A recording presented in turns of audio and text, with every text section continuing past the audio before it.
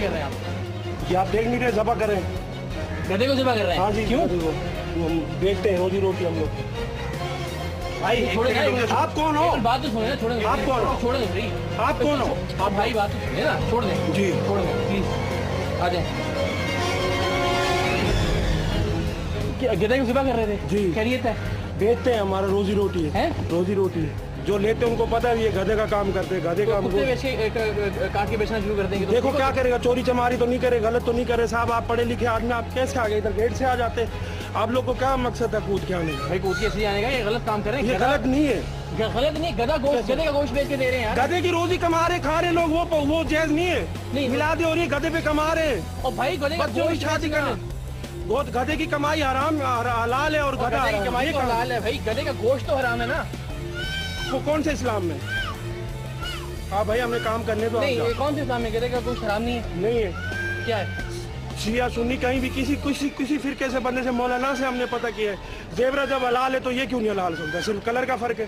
تو آپ یہ لوگوں کو گائے کا گوشت کر کے بیچتے ہیں؟ نہیں نہیں نہیں نہیں۔ جن کو پتا ہے وہ گدے کا ہی لیتے ہیں۔ یہ گدوں کا کام کرتے ہیں گدے کا گوشت یہ بیچتے ہیں تو وہ ہمارے سے وہی ہم کسی کو جھوٹ نہیں بول کے پتہ۔ آپ کیا بات کر رہے ہیں؟ گدے کا گوشت لوگ خود خرید جی جی جی خریدتے خریدتے۔ سب لوگ غریب غربا لوگ دال ہے غریب آدمی دال بڑی مہنگی ہے نہیں کھا سکتا ہے۔ کتنا گوشت نکلتا ہے اس میں سے؟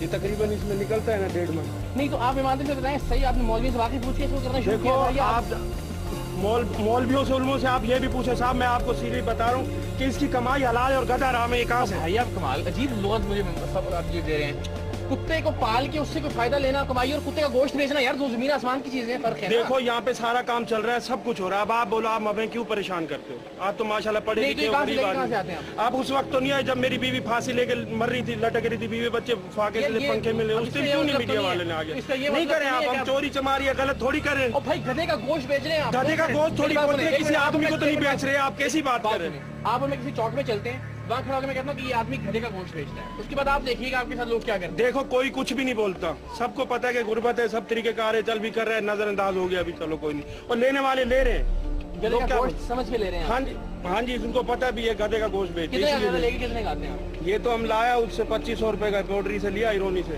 ویسے تو ہم وہ گدا لیتے جو کام سے فارغ ہو جاتا ہے گدا گاڑی والا چھوڑ دیتا ہے نکارا ہو جاتا ہے۔